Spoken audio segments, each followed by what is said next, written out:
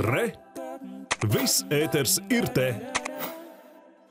Savukārt jau astoto gadu mūziķu apvienība Tev tuvumā Ziemassvētku laikā dažādos Latvijas dievnamos rīko koncertus, kuros izpilda latviešu komponistu dziesmas. Dalībnieku vidū aktieris Andris Keišs un mūziķi Aija Andrējeva, Marts Kristiāns Kalniņš, grupa Putnu Balle un īpašais viesis Aivars Hermanis. Šī gada nogals koncertiem īpašu emocionālo noskaņu rada mūziķu drauga Valtera Friedenberga eņģeliskā klātbūtne. Otrajos Ziemassvētkos Rīgā Torņkalna baznīcā koncertu izbaudīja arī Anete Lesīte pilsētā nāca mežs.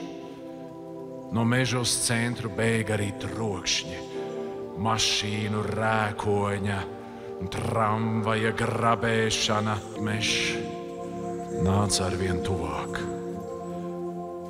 Mežam pa priekšu plūda zaļa migla, tas maržoja pēc skujām.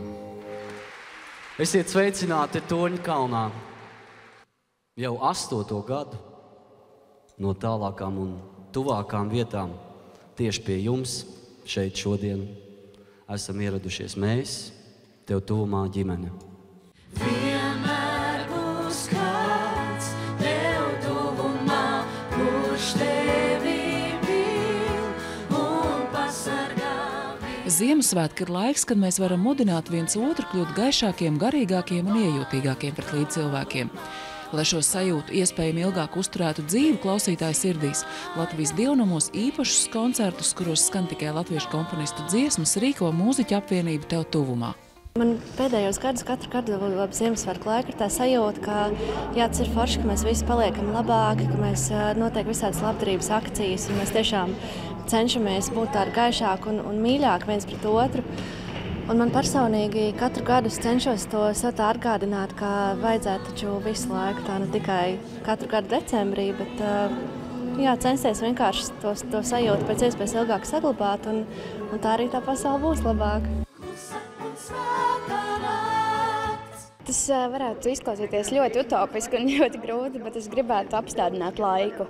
Un, uh, es gribētu apstādināt laiku, lai tas laiks pietiktu teikt, um, pēc iespējas vairāk saviem mīļajiem un saviem tuvajiem. Šogad mūziķi īpaši izjuta, cik nepielūdzams ir laikarāts, aizvadot savu draugu Walteru Friedenbergu un pirmo reizi uzstājoties bez viņa.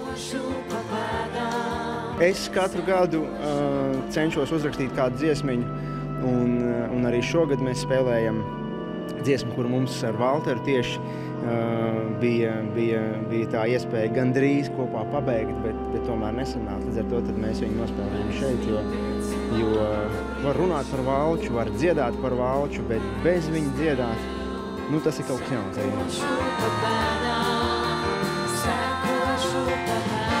arī. Dvēselē patīkamāk tādi svētki, tuvi un sirsnīgi apsveikumi no dziedātājiem. Tas ir ļoti skaists un tāds pārdomu brīdis un ļoti, ļoti patīkams brīdis. Nezinu, cik daudz tas maina, bet ir ļoti svarīgi un nozīmīgi šeit būt. Tas koncerts man liekas bija ļoti skaists. Ļoti patīk šis izpildījums. Mazajiem arī ļoti patīk noteikti. Patika tev koncerts? Mūzika. Jā.